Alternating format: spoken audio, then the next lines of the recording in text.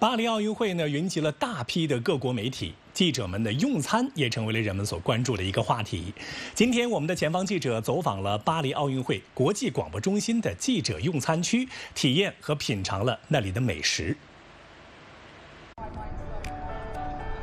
人是鐵，飯是鋼。咁啊，食飯對於所有記者嚟講係好重要嘅一件事。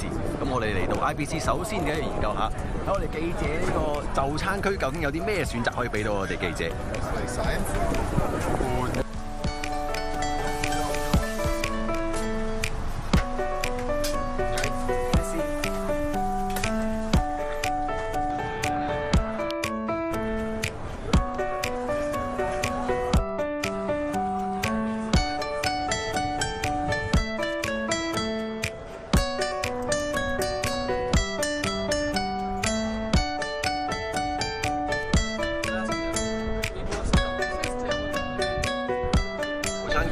實係有都幾多選擇㗎，呢邊係類似一個誒酒吧咁樣㗎啦，亦都有一啲飲料嘅提供啦。我身後咧有呢個咖啡店嘅，咁佢呢度咖啡咧，咁啊當然係我哋記者從業人，因為用嘅精力太大，好多人都需要飲咖啡。咁呢度嘅咖啡大概都係十零蚊、十零歐一杯，咁當然價錢都唔平啦。咁但係咧，佢飲完之後咧，你係可以將呢個杯咧係還翻過去，咁佢係會退翻兩歐俾你嘅，實施呢次誒巴黎奧運呢個環保嘅主題嘅。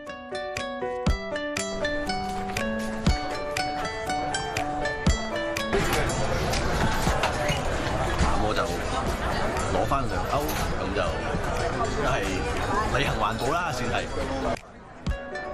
咁外圍多數係一啲輕食啊、飲嘢啊咁樣嘅地方啦。咁如果真係要食啲簡餐咧，就要嚟到呢個 main restaurant 呢個主餐廳呢度，咁啊可以食到啲比較正式啲嘅簡餐。一陣跟我睇下。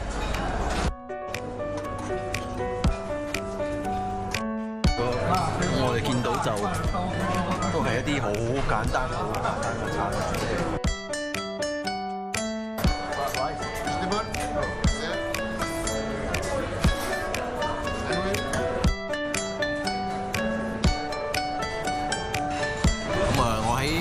IBC 嘅第一餐就已經選擇好啦，咁啊有肉啦，見到有呢個鷹嘴豆飯啦，有都有菜啦，又有個沙律咁樣咧，咁啊總價係十七歐左右嘅。咁樣去對比咧？咁啊可以舉一個比較直觀嘅例子，就係琴日我去咗誒法國當地一個啊全球連鎖嘅呢個知名嘅呢個漢堡包店，咁我見到個套餐咧係有兩個包，呢個薯條再加汽水咧係六歐嘅，咁呢度咧就係十七歐，咁但係都係好豐盛啊！咁我見所有呢度嘅媒體。暫時食得都係非常之開心嘅，咁咁誒證明呢個巴黎方面對呢個飲食對呢個記者嘅安排咧，亦都係得到非常之多記者嘅滿意。